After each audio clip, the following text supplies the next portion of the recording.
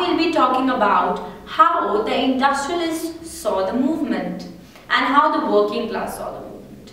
So the people who are working in a factory is also of two kinds.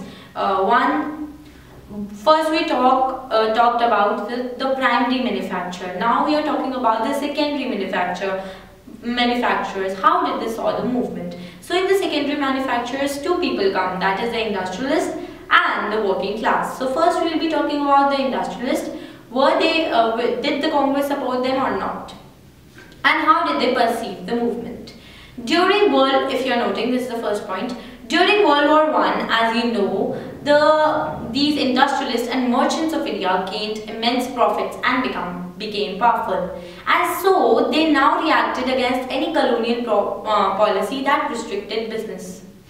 They wanted this is the second point, they wanted security in the uh, against the imported goods, a rupee sterling ratio that would discourage foreign, foreign imports. So these were their two demands.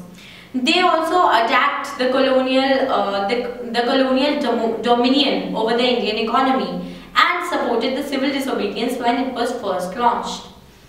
Um, so they uh, started to give financial assistance as well as refused to deal in the foreign imported goods. They formed the Indian National, uh, the Indian, uh, the Indian uh, Industrialist and Commercial Congress. First, it was formed in 1920.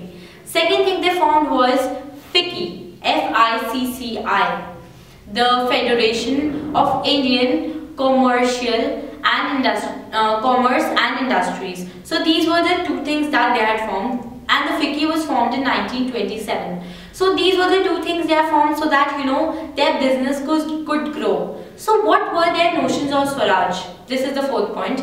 They, they thought that Swaraj would be a time when business would be free of the colonial constraints and trade and industry would, uh, when the business would be free of uh, colonial restrictions and the trade and industry would flourish without any constraints. So these were what they thought Swaraj would be for them. But many of them were very disappointed when this movement was stopped in 1931. They were apprehensive of the, you know, uh, the growing violence in the party. They were, um, they were, you know, disturbed about prolonged disruption of business. And the third thing they worried about was the uh, uh, growing of the influence of socialism amongst the younger members of the Congress. So many of them also, you know, did not participate with, uh, some groups refused to participate and they did not participate with that much of enthusiasm when that movement was relaunched. Then, talking about the working class.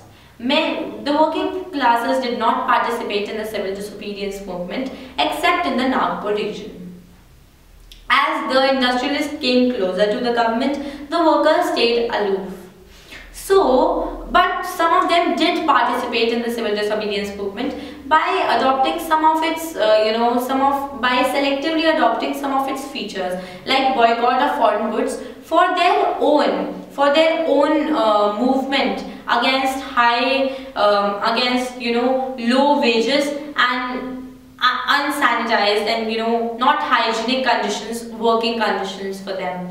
So in 1930, uh, workers uh, workers in railways went on a strike. There, there were a series of strikes. In 1930s, um, in the Chota Nagpur, many of the workers wore the Gandhian cap and uh, they did a demonstration. But the Congress was not ready to include this type of movement in their campaign as this might, you know, this might offend the industrialists. So this was a uh, this was the story around how the participants saw the movement and was the Congress considerate enough to include all of the participants or not. And if you want to know more about this uh, chapter then you've got to see my other videos as well. Thank you and always remember to like and subscribe my videos.